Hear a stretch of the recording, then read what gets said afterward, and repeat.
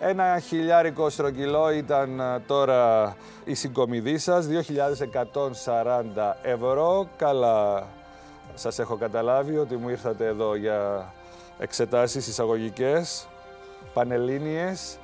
Παρόλα αυτά, κυρίες και κύριοι και αγαπητά μας παιδιά που δεν έχουμε, κάποιος δεν πέτυχε το στόχο του, κάποιος δεν έχει γυρίσει ακόμη, είναι στις διακοπές του. Ποιος θα φάει μπλοκ, ψηφίστε το πιο αδύναμο κρίκο.